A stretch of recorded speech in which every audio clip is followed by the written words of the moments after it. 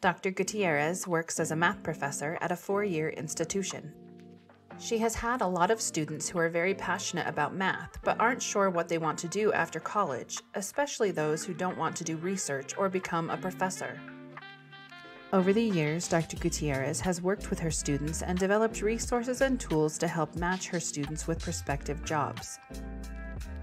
One day, while chatting with her colleague Professor Harrington, she realizes that they have both created similar resources for their students.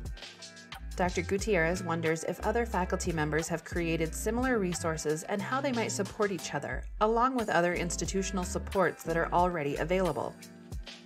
She and Professor Harrington decide to speak with their department head, Dr. Fong, to see if any initiatives exist on their campus and how they can better support fellow faculty as they champion their students.